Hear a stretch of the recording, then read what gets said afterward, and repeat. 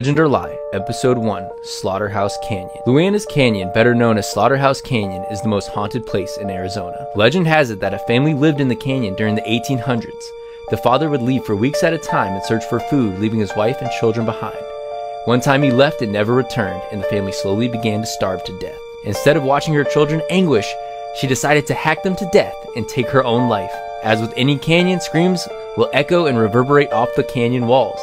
It is said that if you visit the canyon, you can still hear the screams of the children and the mother begging for forgiveness. Question is, is this a legend or a lie?